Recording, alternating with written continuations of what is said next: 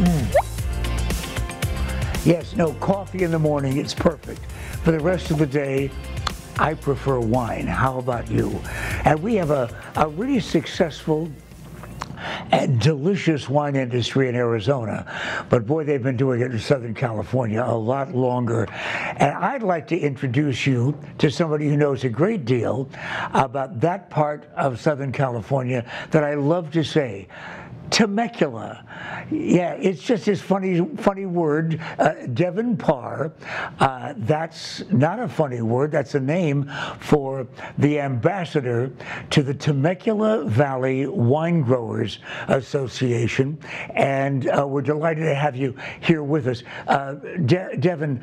A lot of folks move to the west from someplace else. They don't have any idea where the Temecula Valley is. So help us out. Sure. So I love to say Temecula too, and my husband and I joke because we're trying to start the trend of saying Temecula, you betula, and it hasn't caught on yet, but we're really working on it. Uh, so Temecula Valley is Southern California's wine country. We always associate uh, wine country with Northern California, and yet there's this really exciting region uh, about an hour northeast of San Diego, um, about an hour and a half from Los Angeles, hour from Orange County. So really centrally located region in Southern California called the Temecula Valley. So, Devin, what kind of wines do we find uniquely in that area? I would say, what kind of wines don't you find in that area? Um, it's got a Mediterranean like climate. So, really warm, sunny days that are cooled by ocean breezes that come in through gaps in the mountain.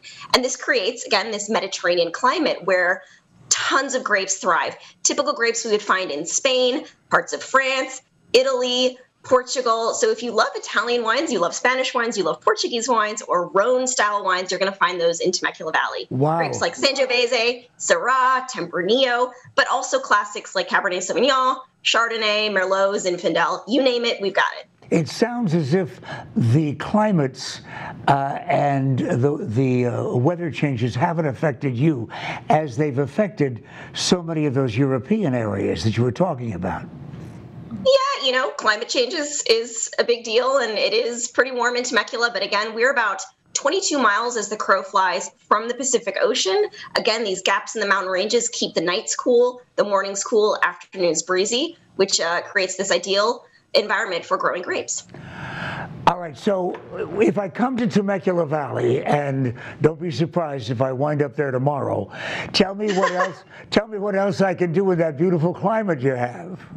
Well, right. It's the perfect climate for growing grapes. It's the perfect climate for vacationing.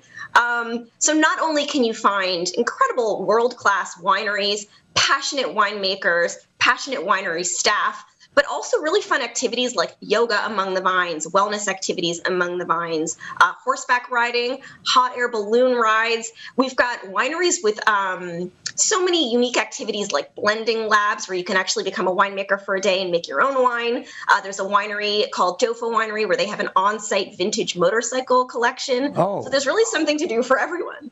Wow, it just sounds like a very, very active place. But I also happen to know that there are people who are, are embarrassed because they are not wine knowledgeable, and uh, and so they they're hesitant about going into a professional place uh, like a vineyard uh, or a wine tasting place because they think, well, I am supposed to know what to ask for.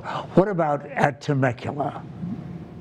I think that's one of the things that really defines the region is it's so approachable. It's so welcoming and friendly. Um, there's enough there to satisfy really hardcore wine enthusiasts, and there are knowledgeable people who can give barrel samples and um, really talk wine geeky stuff.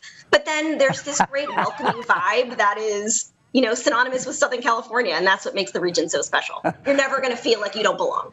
Along with Temecula, it's a fun word to say. Wine geeky is also something I've left with. How do we get more information, Derek? Sure, you can head to the Wine Growers Association, Association website, and that's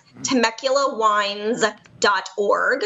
And then visit Temecula Valley. The Convention and Visitors Bureau also has great information about where to stay, uh, places like Old Town, the casino at Pechanga. Um, so tons of information there, and that's visit TemeculaValley.com. And when you do accept that invitation and you go, just know that as soon as the door opens to any of those marvelous places, you say, Devin Parr sent me. I was on the Daily Mix in Arizona. De- Devin Parr.